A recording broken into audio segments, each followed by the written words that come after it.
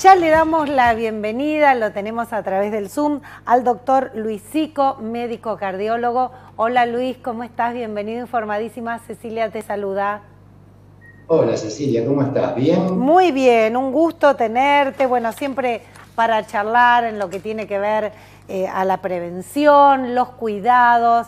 Así que siempre es un gusto y no nos vamos a cansar de reafirmar todo el tiempo lo que uno tiene que hacer para cuidar sobre todo su salud.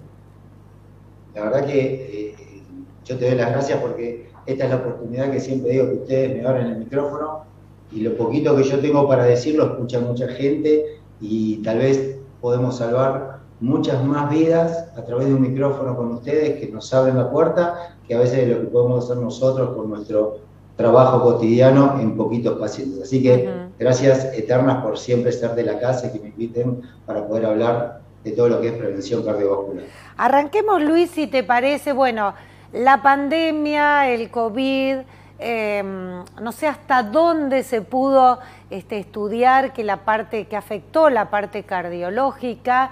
Por otro lado, eh, muchos que dejaron de hacerse estudios, por otro lado, la gente que también le agarró miedo y a través del miedo también afectó su corazón. Vamos por parte, a ver. Eso, vamos por parte. Eh, primero vamos a dividir la cosa desde donde, nos, de donde venimos hablando ya históricamente. Ya sabíamos que no era un virus que se quedaba en los respiratorios. Ese fue uno de los primeros hallazgos que tuvimos.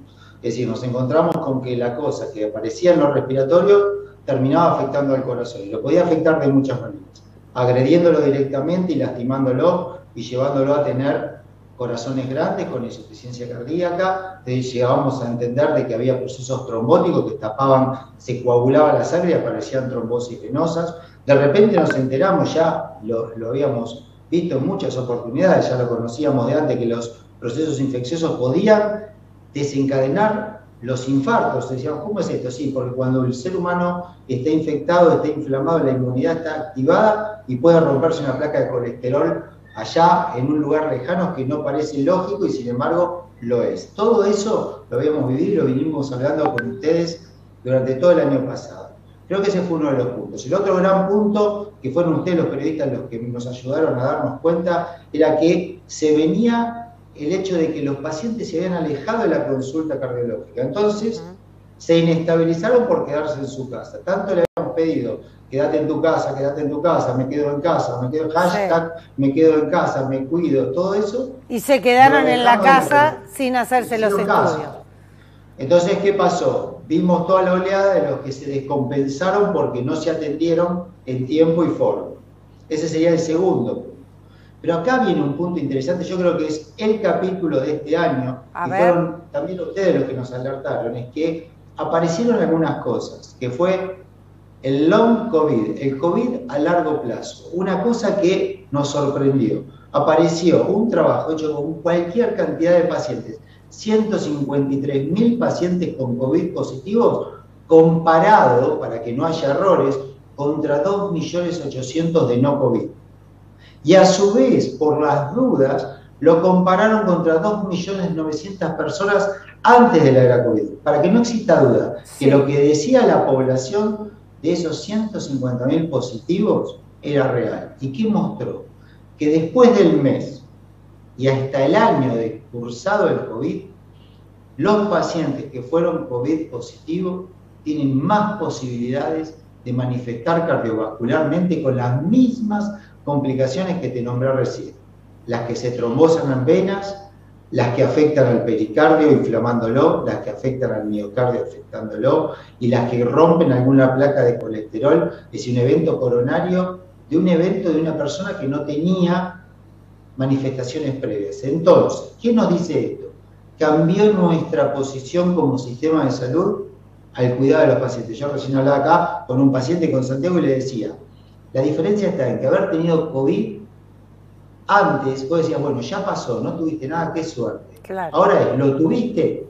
Bueno, no te quiero dar miedo, simplemente te quiero decir que de acá a un año sabemos que pueden haber manifestaciones cardiovasculares. Si sentís algo, venite. Imagínate esto, hubo 400, no sé cuántos, creo que eran 454 millones de afectados de COVID. puedo estar diciendo una barbaridad, pero son millones y millones de afectados COVID que tuvimos. Con el solo hecho de saber que el 4% puede tener manifestaciones cardiovasculares que no la hubieran tenido sin tener COVID, te imaginas que eso cambia la ecuación de la salud pública. Claro. Hay que tener muchísimo, muchísimo alerta, y esto es, un, es el dato de color de este año. Estar atentos porque pueden empezar a manifestarse más manifestaciones cardiovasculares que no las hubiéramos esperado si no hubieras tenido COVID. Entonces, a ver, atento no significa estar con miedo, atento significa, bueno, pasa algo, prevenir, hacerse un control, la vida sana este, que tenemos que hacer para todo. alerta, si vos tuviste COVID y mañana haces disneo o haces dolor de pecho, pregúntale. No es, uy, voy a tener un infarto porque tuve COVID. No, no estamos diciendo eso para que la gente se quede tranquila. Tuviste COVID y fue poquitito el síntoma, mucha menos probabilidad. Fue mucho el síntoma, estuviste internado en terapia intensiva, hay más probabilidad. Todos tenemos más probabilidad de tener un evento cardiovascular de algún tipo, arrítmico, trombótico, sí, no es que es mucho, pero tenemos que saber que si tuvimos COVID no es de sorprendernos que podamos tener un evento vascular. Ahora, pero no es para estar con miedo. Sí, vamos a recordarle a la audiencia que estamos dialogando con el doctor Luis Sico, médico cardiólogo. Em, esta última variante, la Omicron, este, que fue más, no en todos los casos, pero fue un poco más benévola en la mayoría de las personas porque estábamos vacunados, por lo que sea. Eh, ¿También se ha visto este, menos impacto en el corazón o no? Bueno, mira, paso a decirte algo. El trabajo que yo te conté antes del long COVID se hizo antes de Delta y Omicron, con lo cual el trabajo, el cierre de las estadísticas se hizo antes de que aparezcan estas dos variables. Ah, bien. Vos dijiste algo muy importante recién. Yo no, no, no es un lugar para entrar en debate de por sí o por no de la vacuna, pero no sabemos. Eh, creemos que la variable es menos agresiva, pero también estamos más vacunados. Y el estar más vacunados hizo que manifestemos menos menos grave y algunos contagiemos menos. Entonces, quiere decir que no sabemos si las características que tomó la, pandemia y con estas variables es producto de una cepa que viró hacia una manifestación, hacia una, una cepa menos agresiva, o si verdaderamente la población estuvo en mucho mejores condiciones para recibir otro embate de este nuevo agresor que tenemos, que es el SARS-CoV-2. La variable Omicron parece haber manifestado más en forma digestiva. Yo te voy a contar nada más, esta casuística es mía, nada más, de trabajar acá en Clínica del Corazón. Lo podés hablar también con Ramón Sosnávar, que es el coordinador de todo eso, con, Patricia Macarone. Es decir, no hemos visto nosotros esta vez una agresividad como la que vimos en la primera parte de la pandemia. Es decir, los pacientes que atendimos en la terapia, Tuvimos un caso de los largos, estos que duraron mucho tiempo y por suerte salió con vida, de un caso no vacunado, pero no hemos visto el impacto, el choque contra la unidad coronaria que hemos visto en la fase 1, que era todos los días la depresión de tener todas las camas ocupadas con COVID, todos eran graves, todos eran de riesgo respiratorio. Entonces yo creo que el, el gran mensaje es, yo sé que esto da para debate, no quiero entrar en ese debate, la ciencia no debate en este punto, yo creo que la ciencia tiene claro que estar vacunado es menos riesgo de contagiarte, menor compromiso cuando te contagias y la posibilidad de controlar a nivel epidemiológico mundial este impacto que tuvimos, que vimos desgraciadamente en la fase inicial de la pandemia. La verdad es que eso para nosotros fue mucho mejor. Claro, Luis, eh, bueno, a ver, para quien debe hacerse un control, un chequeo, este, que no haya tenido eh, COVID, eh, o por lo menos no lo sepa, yo hasta ahora toco madera, vengo, vengo zafando. Este, em, los controles. ¿A partir de qué edad controles cardiológicos uno debe realizarse y con qué frecuencia? Bueno, mira, yo te voy a decir algo. En realidad, cardiológicamente nos controlamos siempre. Nuestro pediatra también nos controla.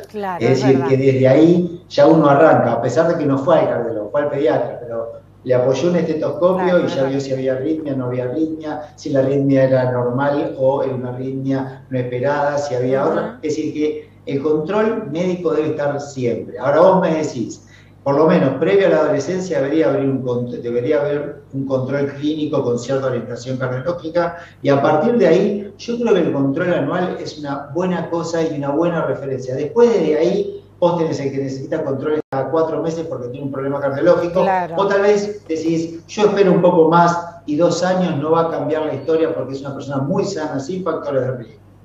Ah. Si fuéramos al final de esta nota, ¿cómo cerraría? Después de este capítulo es, si tuviste COVID, está bien que te sigas controlando anualmente. Lo único es tener en cuenta esto que hablamos con Ceci. Claro, más alerta. Más alerta. Si aparece algún síntoma que te haga sospechar, algún compromiso, alguna cosa cardiológica y tuviste COVID, anda a preguntarle al cardiólogo. Cualquiera de todos nosotros, los que te nombré, estaremos esperándote para una evaluación adecuada y considerar si con un estetoscopio, con una charla, con un ecocardiograma, con una ergometría, con un Holter, pero si necesitamos más, con una resonancia nuclear magnética para ver cómo está ese miocardio, usaremos del abanico lo que vos necesites. Siempre, como decimos, siempre, siempre este, la prevención. Luis, antes de despedirte, han llegado mensajes, dice, te saludan, sus clases cardiovasculares son muy buenas. Ya estoy casi recuperado de mis dolencias, dice Mona. Eh, ¿Qué más? ¿Qué más? Eh, Mona Nussen ¿eh? ha estado muchas veces en el ECO, nos ha dado muchos consejos de vida en la espiritualidad y el manejo de las energías. Así que, Mona, un beso bueno. Qué bueno. Bueno, te mandan saludos, quieren que estés en el PAMI porque te quieren los de los mayores, quieren que los atiendas también. Así que bueno, van llegando muchos saludos para vos, Luis, y me quedo con esto que no me canso nunca de repetirlo, pero viste que a veces una frase te queda siempre dando vuelta y si puede ayudar está bueno hace muchos años, acá en este mismo estudio, en el sillón que teníamos este, cerquita aquí de donde estoy, vos, dijiste, a partir de los 40 años en adelante uno empieza a, dibujar qué, qué, ancianidad o qué mayoría de edad va a tener en su vida, ¿no? Esto de comer sano, tener una vida este, con actividad, tener amigos, estar bien. Eso me quedó siempre. abierto, amplio, apto, contra las letras R, rencor, resentimiento, retracción. Me Era eso, ¿te acordás? Me encanta, me encanta. Y siempre me quedó eso dando vuelta. Así que, bueno, a cuidarnos, la prevención por sobre todas las cosas y eh, con cuidados. Luis, muchísimas gracias como siempre. Ceci, un beso enorme para vos, a la audiencia, a tanto cariño que siempre me llega, el agradecimiento mío y de la Federación Argentina de Cardiología que nos permiten ustedes abrir este micrófono que, mirá, vos fíjate que tal vez recién dijimos dos o tres cosas que pueden cambiar la salud cardiovascular del futuro de mucha gente joven que no la en cuenta. Así que gracias y seguimos siempre, siempre en contacto. El doctor Luis Sico, médico cardiólogo, pasó por aquí por informadísimas.